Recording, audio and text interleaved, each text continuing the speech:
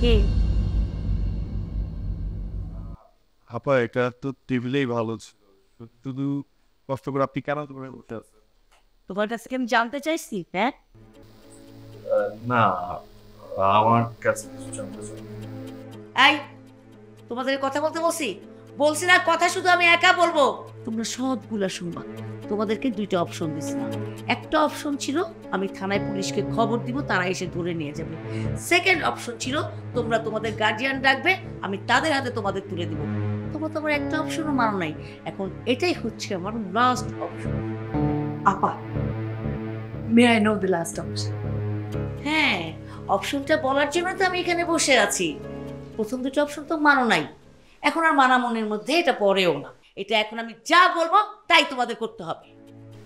এইরকম অনৈতিক কাজের জন্য যুগ উপযোগ শাস্তি হচ্ছে একমাত্র বিয়ে। ইয়েস আপনি একদম মনের কথাটা বলছেন আপা। বিয়ের বিকল্প আসলে কিছুই নাই।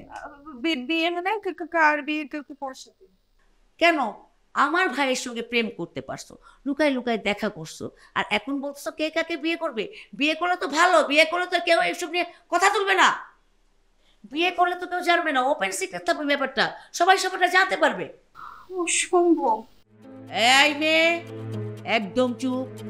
Up- up- just calm down calm down বিয়ে করতে হবে তো? অবশ্যই করবে কেন করবে না? আমার তো তামিমকেই বিয়ে করতে হবে তাহলে?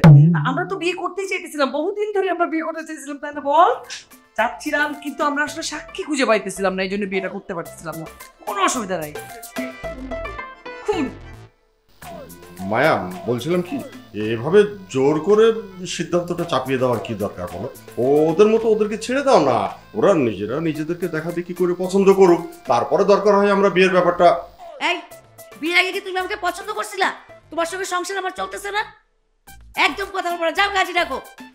আমি যে সিদ্ধান্ত নিয়েছি সেটাই ফাইনাল আর কোনো কথা আমি শুনতে চাই না। ডিসিশন ফাইনাল মানে? আমি আপনার ভাইকে বিয়ে করতে পারব না। বাট ইউ সেড হিম আমার ভাইকে তোমার বিয়ে করতে হবে না। আমার ভাই তোমাকে বিয়ে করবে। মরে গেল না। হ্যাঁ? আফরি হ্যাঁ আপা আমি দেখতেছি। You don't need to worry আপনি শোনো আমার এত কিছু দেখার সময় নাই। তোমাকে বলছি কাজে ডাকবে তুমি কাজে ডাকো দুলাভাই এখন কান্নাকাটি করে কোনো লাভ হবে না। ওই যে পিস্তল দেখছ না হাতে? উল্টাপাল্টা কিছু কোনো না? ঠাস এখন শুধু কাজে আসবে আর তোমরা পড়বে কোপ বেশ ঝামেলা শেষ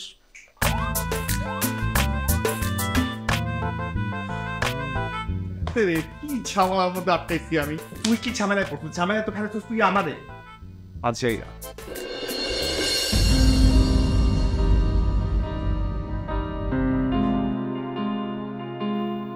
এত বড় শত্রু না হ্যাঁ? এখন বুঝতে পারছি। তুই যে আমাকে বলছিলি যে প্ল্যান করে আমাকে বিপদে ফেলবি? তুই স্বার্থ করছিস তুই স্বার্থ করছিস আফরি তুই কেন এমন করতেছিস আফরি? তুই প্লিজ আমাকে ভুল বুঝিস না। আমি তো মিন করে বলি না ওটা তো রাগের মাথায় আমি কথার কথা বলছি রে। মিন করে বলিস না এই ভালো কথা। তো বলতে বলতে তামিমার কথা বলতে নাবিদের কথা কেন বলতে গেলি? আরে ওই মহিলা তো আগে থেকে ঠিক করে রাখছে তুই ওর ভাইয়ের বউ হবি। আমি বললে মানবে নাকি? এটার জন্য তুই দায়ী। তুই কেন ওই মহিলাকে বলতে গেলি যে নাবিদ আমার ছোটবেলার বন্ধু? এটা না বলে জীবনে ওনার মাথায় বিয়ের ভূত ঢুকতো না। আরে তখন কি আমি বুঝছি নাকি যে ওই মহিলা আমার এই কথাটা কোট করে বসে থাকবে? দেখ যেটা হইতেছে হইতে দে এখান থেকে বের হওয়ার জন্য চুপ করে মেনে নে যা হয় পরে দেখা যাবে। পরে দেখা যাবে মানে? পরে কীভাবে দেখবি তুই? আরে দেখ দোস্ত তুই আমি এতদিনের ফ্রেন্ড আমরা পরে এক্সচেঞ্জ করে নিব দরকার হইলে। সায়না এইসব জিনিস কোনোদিন কেউ এক্সচেঞ্জ করে তুই জীবনে শুনছিস? আর কি করবি? ভাগে যেটা পাইছিস ওটা মাইনা নে। আমি এই বিয়ে জীবনও মাইনে নেব না। তোর ভাব দেখে কিন্তু সেটা একদমই মনে হইতেছে না। তোর ভাব দেখে কি মনে হইতেছে জানিস? বিয়ের আগে প্রত্যেকটা মেয়েরা কিন্তু নখরা করে। তুই সেরকম নখরা করতেছিস। কিন্তু ভিতরে ভিতরে ঠিকই বিয়ের প্রিপারেশন নিচ্ছিস। তুই কি বলতেছিস হ্যাঁ? চোখের সামনে আমি সব দেখতেছি সব। একটু পরে কাজই আসবে। কাজই আসলেই কবুল বলা হবে। তারপর? তারপর কি বাকি থাকবে? সব শেষ হয়ে যাবে। যেই মানুষটার সাথে আমার জীবনে কোনো যোগাযোগ ছিল না আমি তাকে চিনি না। তার আমি আপন বউ হয়ে যাব।